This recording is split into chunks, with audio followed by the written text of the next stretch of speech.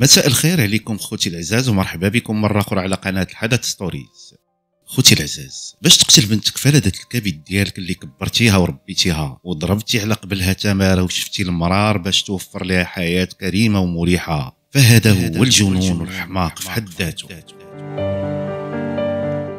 قصتنا اليوم خوتي ماشي قصة عادية. هاد القصة خوتي فاش غادي تسمعوها غادي تحسوا بالأسف أولا وثانيا غادي تأثروا بزاف من الأحداث اللي فيها.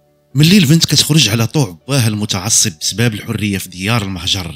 فالنتيجة كتكون في أقل الأحوال كارثية وجد مفجعة قصة سناء ضافاني قتيلة مغربية. في ظلمات التحرر الإيطالي قبل ما نبداو القصة المؤثرة ديالنا خوتي العزاز وكيف العادة؟ ما تنساوش اللايك والبارطاج للفيديو باش ينتشر وتعم الفائدة. وفي نفس الوقت كتشجيع ليا باش نواصل دائما في تقديم الأفضل. واللي مازال مشترك معنا في القناة فمرحبا به وما عليه غير يضغط على زر الاشتراك تحت الفيديو ويفعل الجرس باش ديما يتوصل بالجديد ديالنا. سمحت لي حيت قتل بنتي أه، سمحت لي أنا والدراري باقي صغار عندوش من يكون بهم وأنا ما كنعرفش فين. ما خداماش ما كنعرفش فين. ولكن أه، القضاء ديالنا هما اللي غادي يتصرفوا واخا نقول أنا الحكم قصتنا لهاد الليلة خوتي غادي نبداوها من عند واحد الأسرة مغربية كتكون من أب سميتو قطاوي ضافاني اللي كان في العمر ديالو 26 عام سنة 1990 واللي هي السنة اللي بدات فيها أحداث القصة ديالنا. ومن عند أم سميتها فاطمة شروق واللي كان في عمرها 20 عام في نفس السنة بالإضافة لبنتهم الصغيرة اللي سميتها سناء ضافاني واللي كان حتى هي في عمرها 6 سنين في ديك الوقت. على أي حال فهاد الأسرة الصغيرة كانوا عايشين على قد الحال في المغرب وأحوالهم المادية كانت ضعيفة بعض الشيء. وعليها في القطاوي اللي هو رب الأسرة وبحكم أنه كان هو المعين الوحيد اللي دار جميع المحاولات باش يوفر حياة مريحة لبنته سناء والزوجة ديالو فاطمة. ولكن أخوتي جميع هاد المحاولات باءت بالفشل وكثر من هاد الشيء فالقطاوي عاد ما زاد الوضع المادي ديالو تأزم كثر بسبب الكريديات والديون اللي تجمعات عليه. وعليه فالقطاوي باش يسدد هاد الديون اللي غرق راسو بها. غادي يبدا يقلب على كيفاش يخرج من هذا المشكل. وفي سنة 1990 والحسن الحظ ديالو غادي يقدر القطاوي يتحصل على عقد عمل كمساعد طباخ في واحد البيتزيريا في الديار الإيطالية. وأخيرا القطاوي غادي يقدر يخدم ويبدل مسار حياته في اتجاه مستقبل مشرق ليه والأسرة ديالو. بالفعل فالقطاوي ضافاني غادي يجمع حوايجه هو وبنته سناء ومرته فاطمة وغادي يهاجروا لإيطاليا واستقروا تماك في واحد المدينة سميتها بوردينوني والسيد خدم مع راسو في ال resto ديال البيتزيريا وقدر يحسن شوية من الوضعية المادية ديالو. وفي سنة 2002 فمرته فاطمة غادا تولد ليه بنته الثانية. وفي سنة 2005 غادي تزاد عنده بنته الثالثة. المهم السيدة فاطمة شروق مرت القطاوي بقات مقابلة الدار والأشغال ديالها والتربية ديال بنياتها بحال جميع ربات البيوت. والقطاوي كان كيخرج كل نهار لخدمته يصور رزقه وقوت ولادو. وبالفعل فهو قدر يوفر لوليداته حياه معيشية نقدروا نقولوا عليها أنها كانت بخير وعلى خير. وحياتهم تحسنات بزاف بالمقارنة مع الحياة اللي كانوا عايشينها في المغرب. بالنسبة للحياة الاجتماعية خوتي داخل هذه الأسرة فكانت عادية جدا.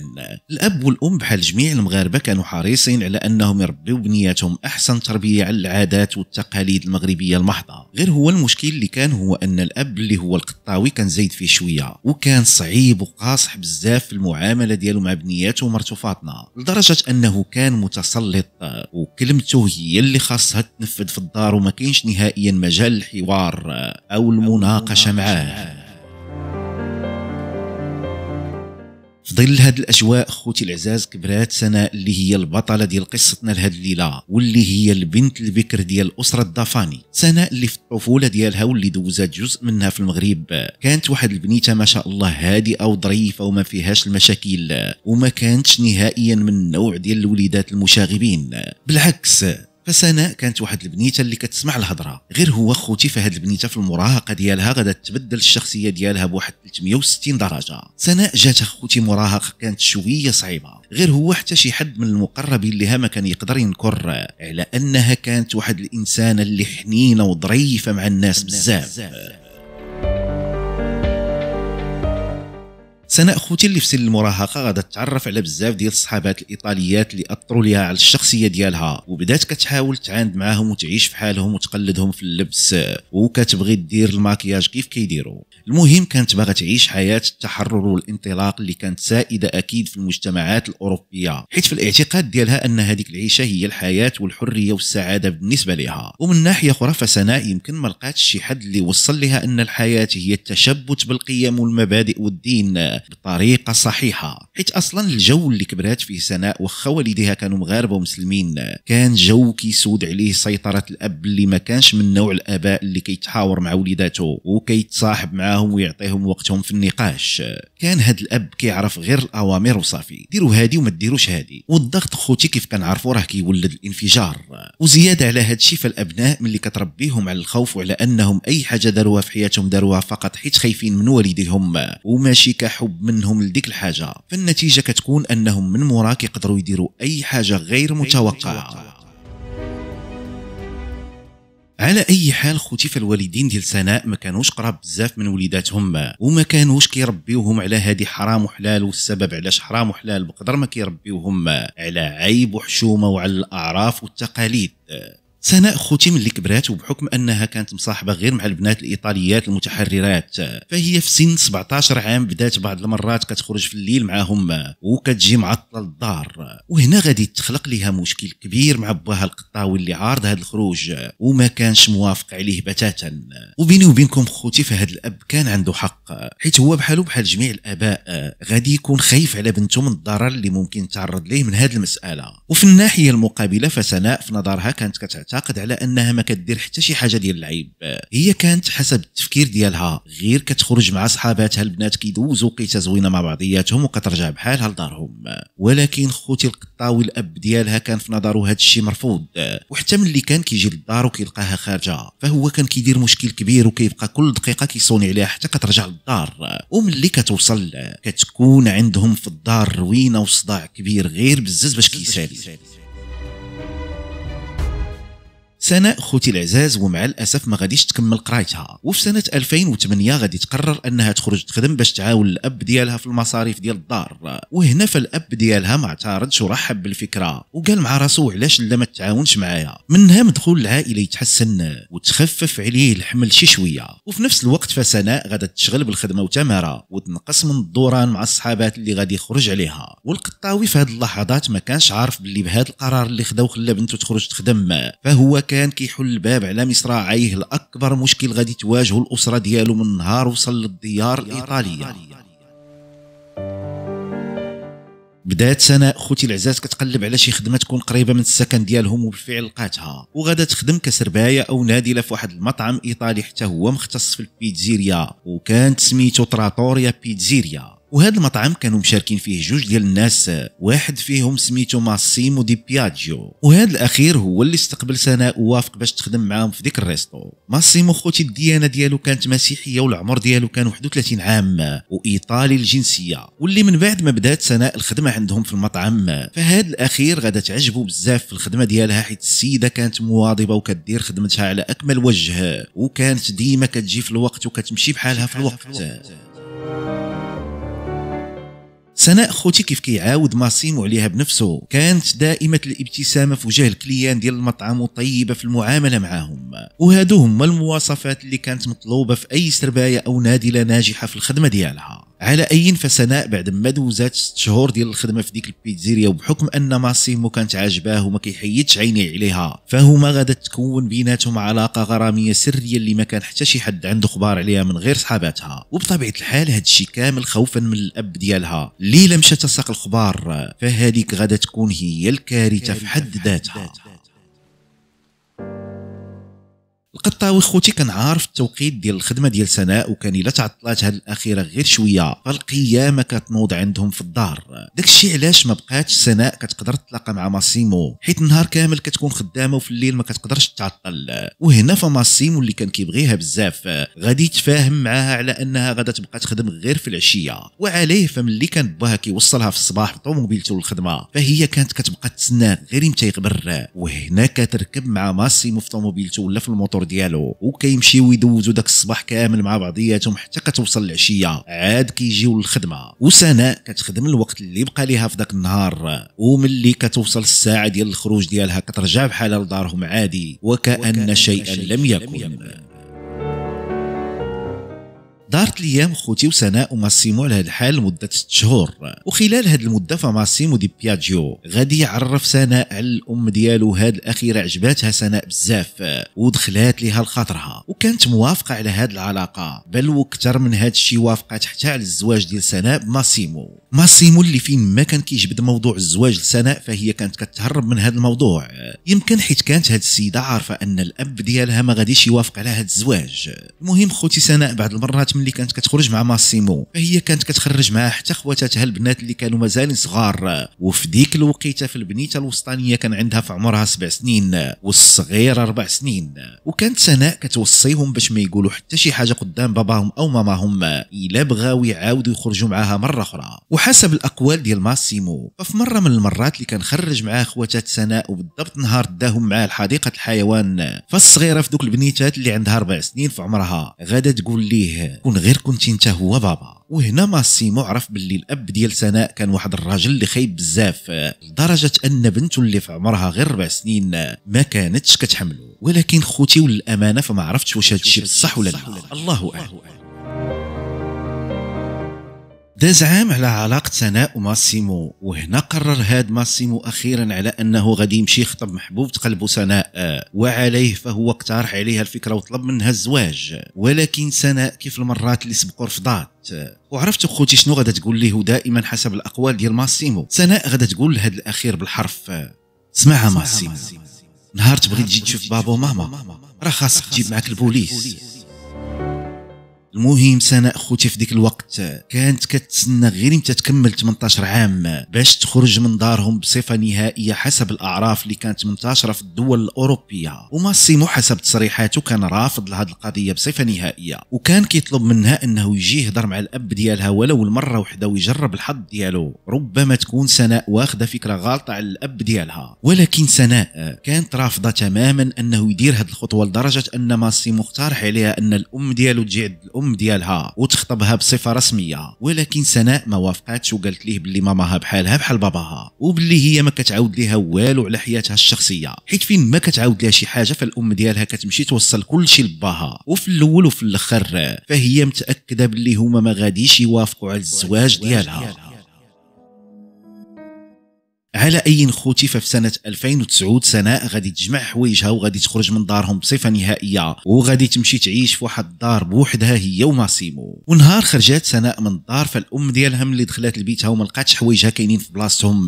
فهي على الفور غادا تعرف باللي بنتها خرجت من الدار بلا رجعة واستغلات القانون الإيطالي اللي كيعطي الحرية التامة للشباب اللي كيكملوا 18 عام في عمرهم أنهم يستقلوا بذاتهم. وهنا فالأم فاطمة اتصلت براجلها القطاوي وخبراته بهاد الكارثة. القطاوي غير غادي يسمع بالخبر وهو يجي للدار جاعر وعينيه كيقطروا بالعصاب. وهنا هز التليفون واتصل بسناء بنته ولكن ما جاوباتوش نهائيا.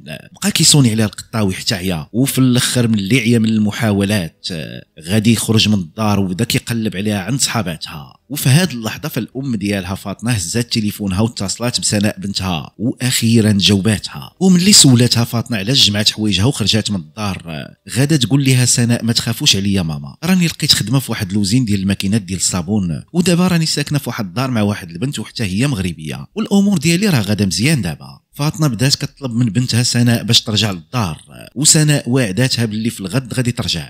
ولكن سناء ما رجعاتش وبقات فين ما كتصوني ليها ماماها كتقول لها نفس الجملة. وفي ديك الأيام القطاوي باباها كانت شاعله فيه العافية من جهته وكان معصب لواحد الدرجة كبيرة وكبيرة بزاف. وكان كيقول لفاطمة مرتو باش تقول سناء ترجع ولا ما غادي يعجبها حال.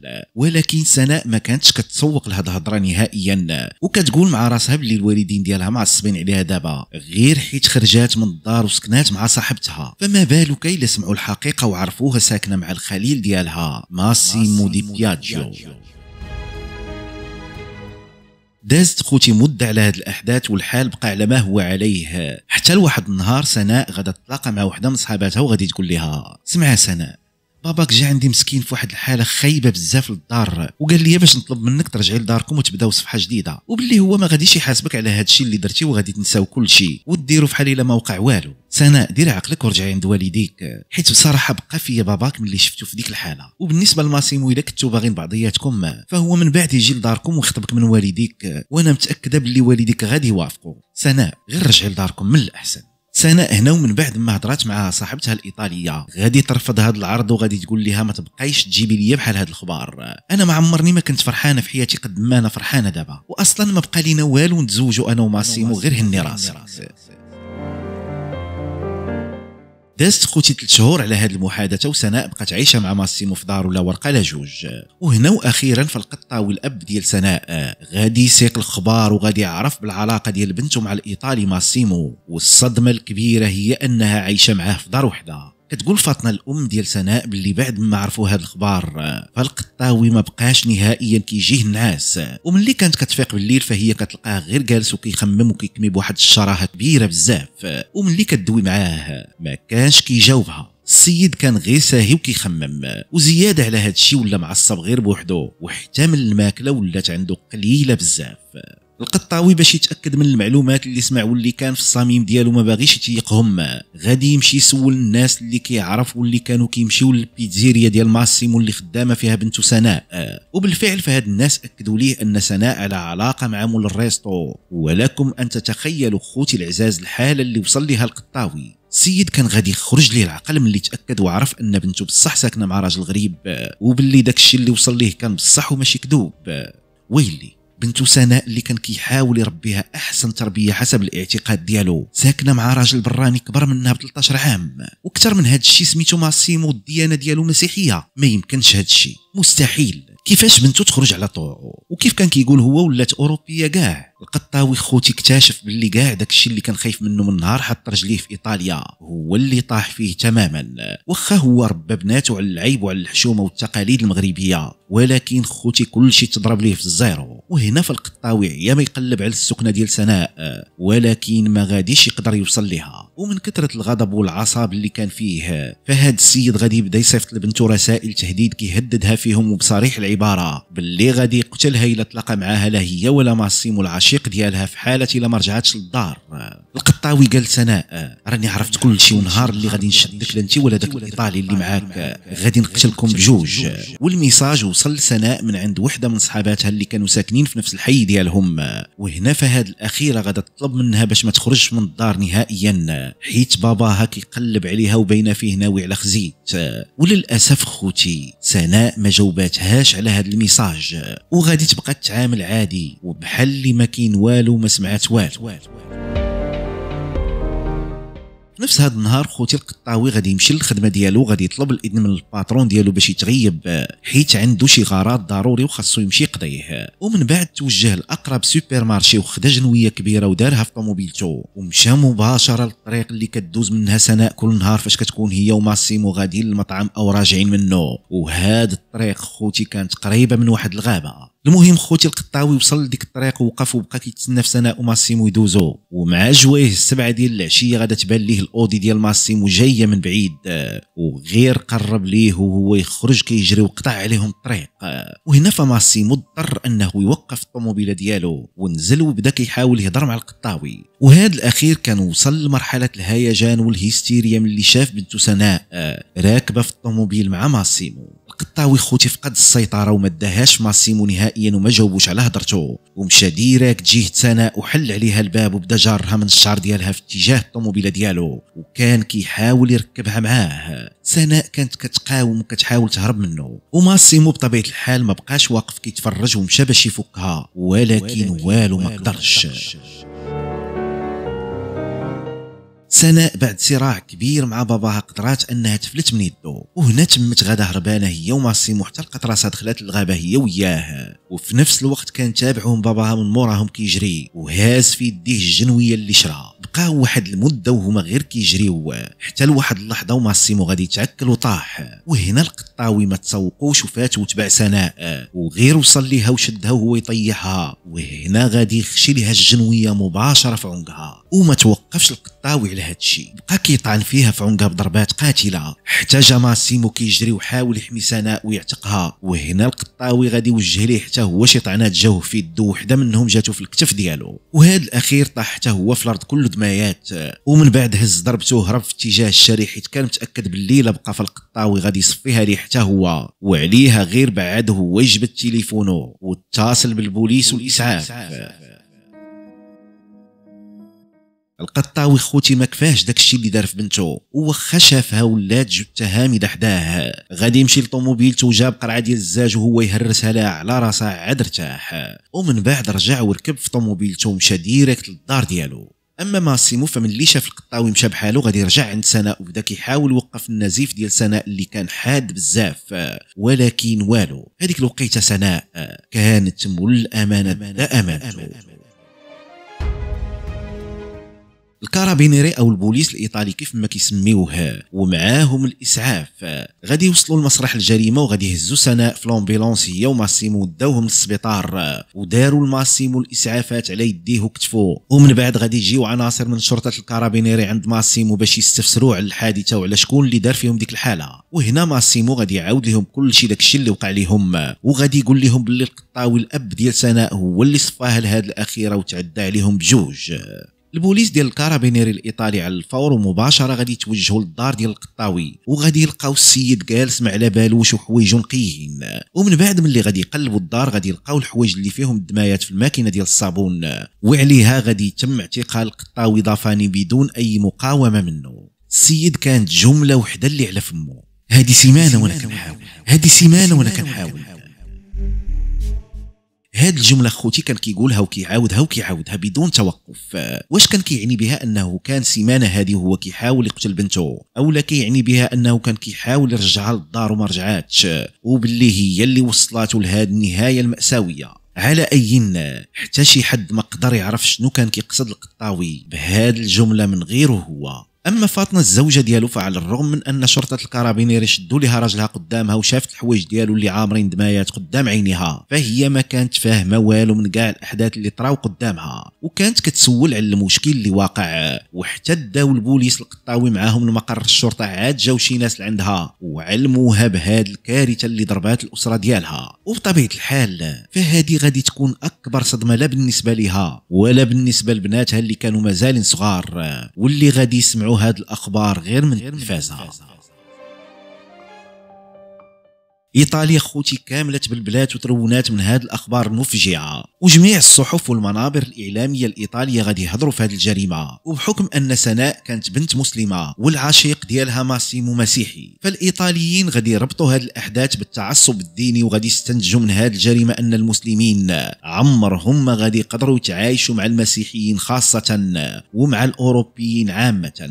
وغادي يكثر القيل والقال في هذا الموضوع بطريقة مبالغ فيها لدرجة أنهم نساو الموضوع. الموضوع الأساسي واللي هو الجريمة في حد ذاتها. بداو الإيطاليين كيخرجوا في قنوات إذاعية ديالهم وكيقولوا باللي العرب والمسلمين اللي ما غاديش يندمجوا مع الثقافة ديالهم وما غاديش يبغيو تكون شي علاقة اللي كتجمع ما بين المسلم وما بين شخص من ديانة مختلفة. فما عليهم غير يبقاو في بلادهم ومن الأحسن ما يجيوش لعندهم لبلادهم. وهنا كان من الضروري على المسلمين اللي ساكنين في إيطاليا أنهم يخرجوا ويردوا على هذه الافتراءات. الناس ديال الجالية المسلمة في إيطاليا غادي يقولوا أن هذه الجريمة ما عندها حتى شي علاقة بالتطرف الديني. وحتى من الجمعيات اللي متكفلين بالجالية المغربية في إيطاليا غادي تخرج بنفس التصاريح وغادي يقولوا أن القطاوي قتل بنته حيت مشات تعيش مع راجل غريب. غير حيت ما كانش موافق على هذه العلاقة ما بين بنته وما بين ماسيمو اللي كان كبر منها ب 13 عام.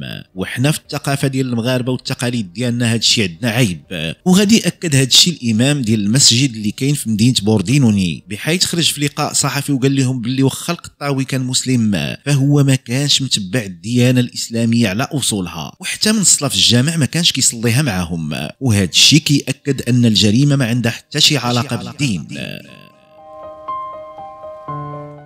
جريمة مقتل سناء ضفاني خوتي رونات الجالية المسلمة اللي متواجدة في إيطاليا وزعزعات الاستقرار ديالهم. وكانوا كيحاولوا ما أمكن أنهم ينفيوا هذه الفكرة نهائيا. أما بالنسبة للإيطاليين فبقاو متشبتين باللي القطاوي قتل بنته حيت هو مسلم. وباللي يكون هذا السيد كان متبع شي ديانة أخرى ما كانش غادي يوقع هذا الشيء. على أي ففي أول تصريح غادا تخرج به فاطمة الأم ديال سناء كانت مسكينة تالفة وغير كتغوت وكتبكي وكتقول لهم غدرني وقتل لي بنتي. ومن بعدها ب 24 ساعة دارت تصريح آخر اللي صدمات به الإيطاليين كاملين وكانت كتقول في هذا التصريح باللي القطاوي كيبقى راجلي والأب ديال بناتي مهما دار وأنا مسامحه ليه وسناء بنتي راه هي اللي كانت غلطه وهي اللي ما سمعاتش ليه وخرجات على طوعه. وكانت دائما كتخرج بالليل وما كتسمعش الهضرة ديالها.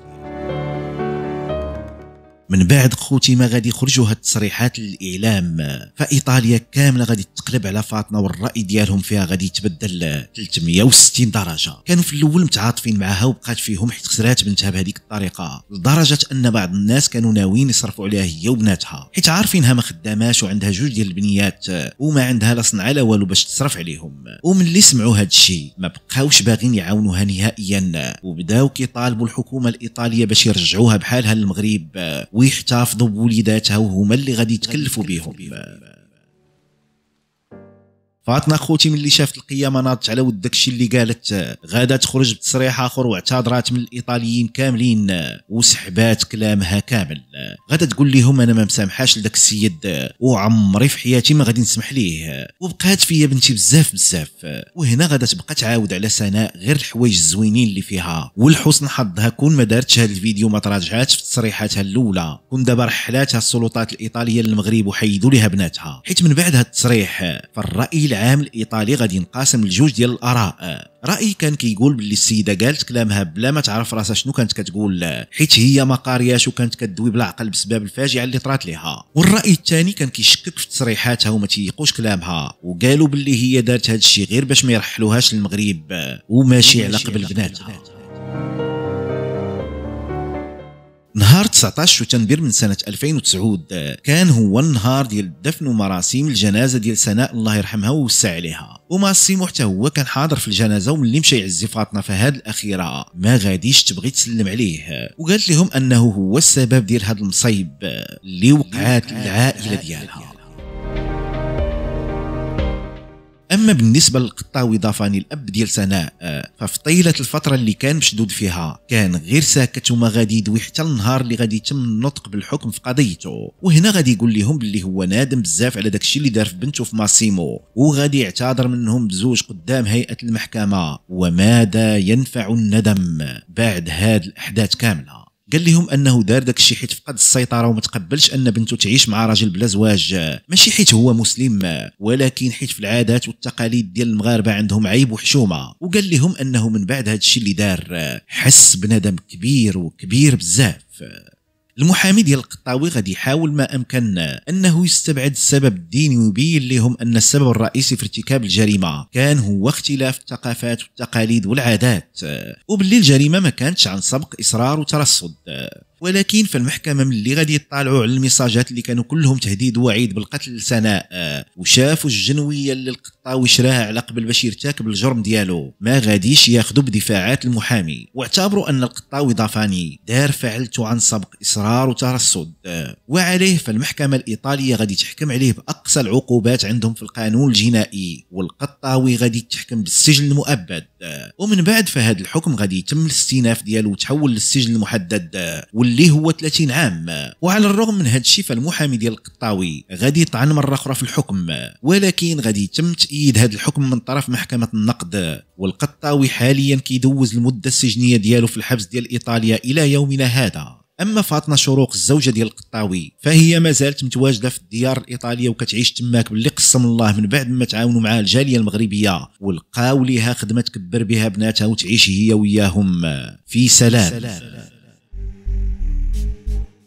خوتي العزاز كسنا لهاد الليلة سالت هنا. كنتمنى تكونوا تبعتوها حتى للاخر ديالها واستخلصتوا منها العبر اللي فيها. ضغط أخوتي كيولد الانفجار. فرفقا بوليداتكم وبزوجاتكم وعاملوهم معاملة اللين ومعاملة احترام الرأي الآخر. تصاحبوا مع وليداتكم وعرفوهم فاش كيفكروا وشنو التوجهات ديالهم وعلموهم دينهم بالطريقة الصحيحة بلا عنف وبلا تعصب. الله يصلح لكم وليداتكم خوتي ويجعلهم ذرية صالحة ومنتجة ومفيدة للمجتمع ديالهم. ودابا خوتي بقى لي غير نقول لكم تسناوني في قصة وقضية جديدة في القريب العاجل إن شاء الله وما تنساوش ديروا لايك للفيديو اللي عجبكم وتكثروا البارطاج وبالنسبة للناس اللي أول مرة يشوفوا القناة ديالنا وعجبهم المحتوى فمرحبا بهم وما عليهم غير يضغطوا على زر الاشتراك تحت الفيديو ويفعلوا الجرس باش دائما يتوصلوا بالجديد ديالنا. دمتم في أمان الله وحفظه ورعايته وإلى الملتقى بإذن الله.